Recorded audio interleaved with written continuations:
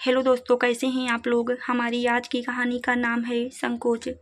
अरे बहू, तुम्हारी ज़ुबान तो बहुत चटर पटर चलने लगी है। थोड़ा भी बोलने की तमीज़ नहीं है। क्या तमीज़ बेच खाई हो? अपनी ननद के बारे में ऐसी बातें बोलते हुए तुम्हें थोड़ी भी शर्म नहीं आ रही? कैसी शर्मा जी आरती अपने पति से अपने हाथ के दर्द के बारे में बता रही थी? और कह रही थी कि संजीव, देखिए पूरा दिन काम करने से कैसे मेरे हाथ में काले काले से निशान पड़ गए हैं। निशान देखकर संजीव ने भी कहा हाँ आरती, ऐसा कौन सा काम कर दिया तुमने? यह तो सच में बहुत गहरा दाग पड़ गया है। पति की हमदर्दी पाते ही आरती अंदर अंदर खुश हो जाती है और खुशी में ही कहने लगती है, आज मैंने पूरे घर की खूब अच्छे से रगड़ के सफ़ाई करी है, इसलिए हाथों पर कुछ ज़्यादा ही ज़ोर पड़ गया। जिसकी वजह से काले काले दाग से पड़ गए हैं। बस यही बातें कमला जी के कानों में पड़ गईं। अब कमला जी तुरंत बहू बेटे के कमरे में आते हुए कहती हैं, अरे तो कौन सी बड़ी बात हो गई? घर के ही तो काम की हो, घर के काम करते हैं तो इतना बताते नहीं हैं। तुम्हारा ही घर है, किसी और का तो नहीं है। काम तो करना ही पड़ेगा। इसमें इतना गिनाने की क्या ज़रूरत है? ये किया ये किया। अपनी सास कमला जी के मुँह से अपने लिए ऐसी बातें सुन सच में आरती की आँखों में आँसू आ गए। उसने अपने पति संजीव की ओर देखा। संजीव ने उसे इशारे में ही शांत रहने के लिए कहा। अब संजीव माँ के सामने क्या ही बोले, उन्हें पता था कि अगर वह आरती का पक्ष लेंगे तो माँ को ही बुरा लग जाएगा और माँ के फिर हज़ार नखरे शुरू हो जाएँगे। वह अपनी ही कहानी लेकर बैठ जाएँगी। बेटा हमने भी बहुत काम किए हैं। अब कौन सा काम है? सब कुछ तो बाहर से ही आ जाता है। पैकेट पैकेट का ना कूटना है, ना पीसना है। हमारे ज़माने में सारा काम करने के बाद भी चक्की चलानी पड़ती थी। इतने इतने काम से अगर हाथ दिखाने लगे और रोना लेकर बैठ जाएँ तो संभल गई रहती बात आगे ना बढ़े, इसलिए आरती चुपचाप उठकर किचन में चली गई। उसकी आँखों से लगातार आँसू निकल रहे थे, क्योंकि उसने सच में पूरे घर के एक एक कोने की सफ़ाई बहुत ही तरीके से की थी। पूरा दिन लग गया था और पूरा दिन काम करने के बाद भी कभी भी ससुराल में किसी के मुँह से प्यार की बोली ना निकलती थी। अगर यही काम मायके में करती तो माँ से उसे कितना प्यार मिलता, साथ ही कितनी तारीफ़ मिलती। लेकिन या तो ससुराल है और ससुराल में बहू की कभी तारीफ़ होती नहीं है। खैर, आरती को तो अपनी सास की बातें बुरी लगी थी, लेकिन इस बात की तसल्ली भी थी कि कम से कम उसका पति तो उसके साथ है। वह तो उसकी और उसके काम की कदर करता है। आरती सुबह का सारा काम करके दोपहर का खाना बनाकर अपनी सास को खिलाने के बाद खुद खाकर जैसे ही लेटने गई कि अचानक ही डोर बेल बज उठी, मन खींच उठा था आरती का। अनमने मन से ही जैसे वह दरवाज़ा खोलती है कि सामने मुस्कुराती हुई ननद रानी खड़ी दिखाई दी। शीतल को देखकर आरती का मन बैठ जाता है। क्योंकि वह एक तो पहले से ही थक गई थी, दूसरे अब सासू माँ की एक से एक फरमाइशें शुरू हो जाएँगी और वैसे भी कोई भी इंसान हो, दोपहर को खाना खाने के बाद एक घंटा आराम करता ही करता है। लेकिन भारती के लिए आराम हराम था। वह अब ननद की फरमाइश पर उनके पसंद का खाना बनाएगी, क्योंकि इस टाइम आने का मतलब है कि वह बिना खाना खाए ही आई हैं और यह कोई आज की बात नहीं है। हफ़्ते में हर दूसरे तीसरे दिन ननद रानी बिना बताए आ ही जाती हैं। पंद्रह बीस मिनट की दूरी पर ही उनका घर है। इसलिए जब भी जी में आता है, चली जाती हैं और पूरे दिन माँ बेटी मेरी एक से एक कमियाँ निकालती रहती। मेरी इतनी शिकायतें, इतनी बुराइयाँ होती कि शायद इतनी तो पूरे गाँव में किसी की ना हुई हों। या ऐसा कह लो, पूरे शहर में ही किसी की ना हुई हो। ना माँ जी की शिकायतें ख़त्म होती, ना बेटी की हिदायतें ख़त्म होती।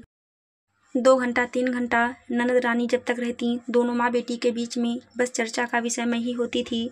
अभी मैं दरवाजे पर ही खड़ी थी कि तभी शीतल ने कहा, भाभी, अब हटोगी भी या दरवाजे पर ही खड़ी रहोगी? कहते हुए वह आरती को एक साइड में करते हुए सीधे अपनी माँ के पास जाकर बैठ जाती है। माँ भी बेटी को देखकर ऐसे खुश होती हैं, जैसे बेटी साल में पहली बार आ रही हो। हाँ बेटी आ जा तू आ जाती है तो थोड़ा मन बहल जाता है। नहीं तो पूरे दिन इस घर में पड़े पड़े सड़ते रहो। किसी को भी मतलब नहीं है। क्या करूँ माँ? मैं बस तुम्हारे ही चक्कर में भाग भाग कर आती रहती हूँ। नहीं तो टाइम ही कहाँ मिलता है? इतना आने का, घर में इतने काम रहते हैं कि सांस लेने की भी फुर्सत नहीं रहती है। पूरे दिन करते रहो। इसके बावजूद भी कोई कदर नहीं होती है ससुराल में। कहते हुए शीतल ने उदास सा चेहरा बना लिया था कि तभी आरती शीतल के लिए पानी लेकर आती है। और उसकी बातें सुनकर कहती है, दीदी तो कौन सी बड़ी बात है? अपने घर का काम किसी को बताते थोड़ी ही हैं। आपका घर है तो काम तो करना ही पड़ेगा। इसमें इतना गिनाने वाली कौन सी बात है कि यह किया यह किया? बहू के मुँह से, बेटी के लिए ऐसी बातें सुन कमला जी भड़क जाती हैं और गुस्से में आरती से कहती हैं, बड़ी चल रही है तुम्हारी जवान। तुम किससे बातें कर रही हो? तुम्हें ज़रा भी अक्ल है। अपनी ननद के बारे में ऐसी बातें करते हुए तुम्हें जरा भी शर्म नहीं आ रही? एक तो बेचारी काम करते करते परेशान रहती है, हालत ख़राब हो जाती है। दूसरे, तुम उसके जले पर नमक छिड़क रही हो। अगर प्यार की बोली नहीं बोल सकती तो यह जली कटी भी अपने पास ही रखो। शीतल भी लगातार गुस्से में आरती को ही देखे जा रही थी। दोनों माँ बेटी का गुस्सा देख आरती ने कहा, माँ जी, मैंने क्या गलत कहा है? मैंने तो वही कहा जो आपने मेरे लिए कहा था कल, भूल गई क्या? कल कैसे आपने इनके सामने ही मुझे कहा था कि यह तुम्हारा घर है, काम तो करना ही पड़ेगा, इसमें गिनाने वाली कौन सी बात है? तो वही बातें तो बस मैंने दीदी के लिए भी बोल दी तो आप बुरा मान गई। अगर मेरी बात बुरी है तो मतलब आपकी भी बात बुरी थी।